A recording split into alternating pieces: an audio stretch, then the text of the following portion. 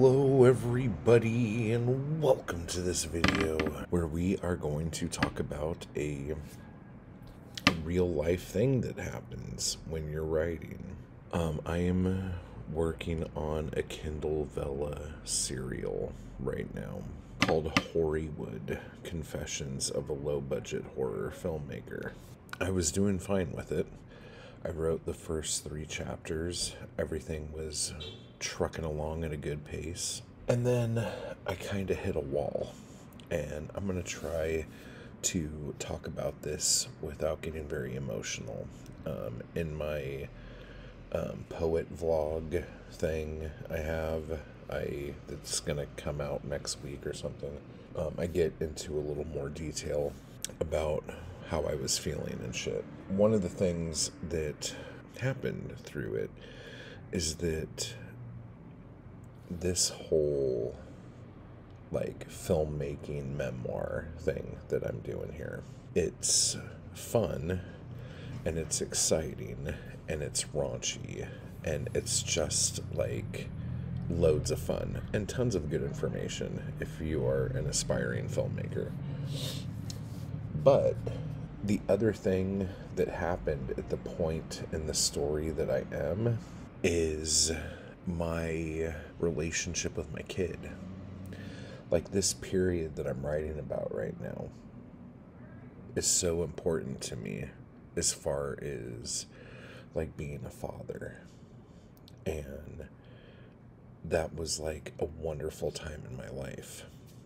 And I'm not ready emotionally to write about that part of my life. I had to come to terms with being okay to take that out of this fairly accurate, true story of my life.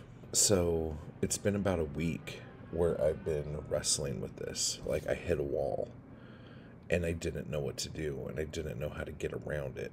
And so I was going back and forth trying to figure out all these different ways that I can do it and still include that part of my life in there.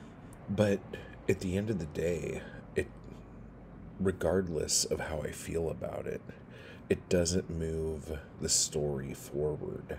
It doesn't move the narrative forward. So I basically made the decision to take all of that stuff, kind of about my family, out of the book altogether and just focus on the actual process of filmmaking, trying to get projects off the ground, and the whole fucking thing. And it's really difficult because, like, I homeschooled my kid until they were in eighth grade, seventh or eighth grade. I can't remember now.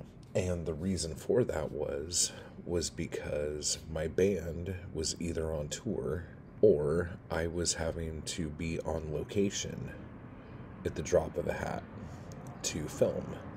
And sometimes that was local, but other times that was in Minnesota, that was in South Dakota, that was in um, Oregon, you know, like, and then other times it was just kind of far away, a couple hours out of LA. Like, my kid being with me during that time was a constant. You know what I'm saying? But it doesn't it doesn't move the story along. So I had to make the tough decision to take that part out.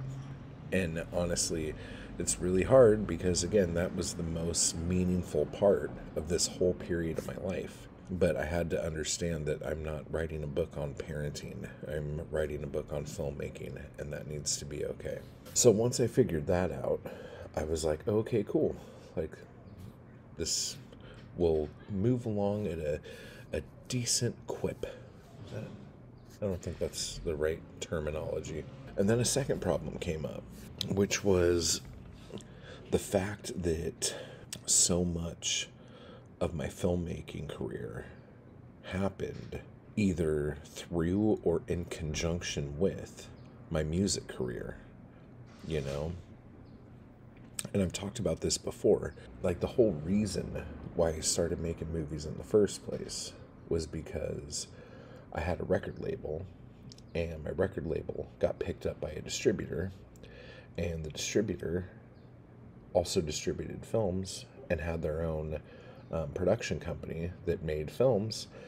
And I was making music videos for the bands on my label, and they wanted me to start putting music from my label onto their films. And then that turned into them wanting the people in the bands on my label to be in the movies that they were making. And then that turned into me just making movies with the people in the bands that were on the label for them to put out. You know, like that's all fine and good.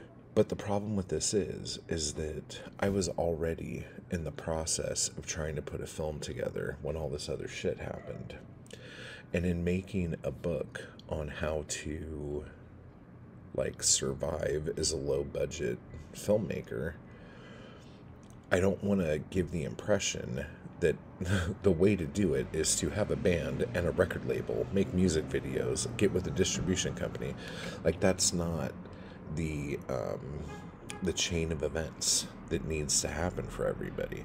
And then on top of that, that whole deal ended up falling through before the first movie even came out. So it ended up not doing anything other than just being a catalyst to make me do something. You see what I'm saying? And I would much rather write another book at a later date about my music career and how to not fucking starve as a musical artist. So, especially like the first year of my filmmaking, it's so like intricately tied with the filmmaking or the music. Well, I can't remember which one I started with, but you see what I'm saying. Like, there's a part of me that's like, how am I going to add this in and then just never talk about it again? Because once I left Oregon and came back to Southern California, my filmmaking career took off and the music career was still there, but it had absolutely nothing to do with the filmmaking that was another big decision because like if I were to write about the music, I would feel like I would need to continue to write about the music that like parallels the filmmaking as we go. So I decided I'm not going to do that, and I will just mention it a little here and a little there in passing, um, and do that. But when we hit these walls, where and we've all done it. You're writing a novel, everything's going good. You're just jamming, your fingers are flying on the keys. Everything seems amazing. And then suddenly it just whoosh, it all stops. And um, it's kind of inexplicable. And you don't know why. But the lie that we tell ourselves when that happens is either this is too hard or I'm not good enough or I knew this would happen. Um, I've started so many books and never finished them. Oh God, I'm such a loser. Blah, blah, blah, blah, blah, blah, blah, blah, the whole thing. But what you have to do is when this happens, it's usually happening because there is a problem with what's happening. Not a problem with you, but a problem with what's happening. And you need to identify what that problem is and as soon as you can identify that and fix it, then you're right back to it and you could just keep going and jamming again. You know, but we need to understand that the doubt that I always fucking talk about being the bitch, the thing that where you're like, oh, of course I can't do this. Of course. That's not a real thing. Like, this is just like if you were, I don't know, baking a cake and the cake didn't rise or whatever. And you're just like, well, I guess I'll never cook again. This is a fucking stupid. Or you could have just used the right ingredients and then you just go and you add the thing that you're supposed to add as if you could recook a cake. And then, um, you know, and then you just move on with it. So, analogy is not good, but you understand the point I'm trying to make. So, with that said, when you hit a wall, identify the problem, fix the problem, move on. Okay? That's all you got to do. So, I hope this was helpful. Um, just keep doing the thing. Type hard, everybody. Keep buying my books, including Last Chance for Gas about Last Chance gas stations up now on my Etsy shop. And because of all this, I was able to finish the next chapter of Whoreywood, which is up on Kindle Vella now. So chapter four is up, and um, hopefully, I think I'm just gonna keep doing as many as I can through this month and see what happens. Like I don't know, like maybe it's cool, maybe it's not. So um, that'll be the plan, and then once we get to next year, I might just do it once a week and see how that goes. But anyway. Type hard, everybody, and I'll talk to you later. I just want to give a quick thanks to those people who make these videos possible. Anarchy Crew and my followers on Patreon. I appreciate the hell out of you guys. And thank you so much for keeping me going to keep this content possible. You guys are awesome. And if you'd like to join the crew or the Anarchy Crew, just hit the join button beneath this video. And if you'd like to become a member of my Patreon, you can run over to the link down below to do that as well. Thank you.